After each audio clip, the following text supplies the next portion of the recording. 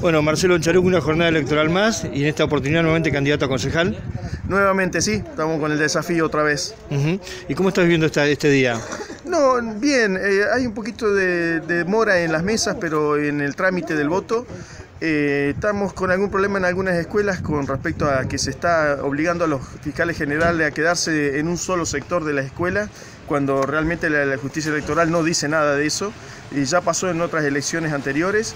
Son cosas que hay que pulir, ¿no? Para evitar malestares que son innecesarios. Bueno, hay contradicciones de todo tipo en ese sentido, porque en algunas escuelas permiten que los medios ingresen, que hagan imágenes. En esta estamos en la 11 y no te dejan entrar. Sí, sí, ya me lo han comentado y realmente que si es eh, lo- la democracia tiene que habilitar que no que sea todo transparente, lo mejor la mejor Cuando más se muestre, mucho mejor. Totalmente, y la prensa tiene que tener accesibilidad a todos los, los sectores. Eso, según yo tengo entendido, debería ser así. Marcelo, ¿dónde van a ser el- ustedes el, el- el lugar de donde se van a encontrar al final del día?